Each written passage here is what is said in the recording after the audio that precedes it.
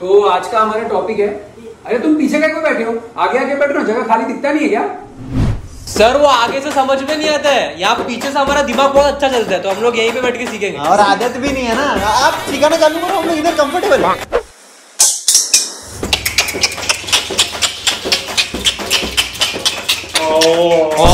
बस बस। हो गया गाइस पढ़ के?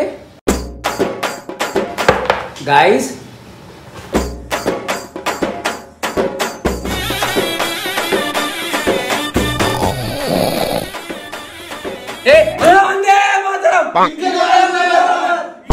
minus Y.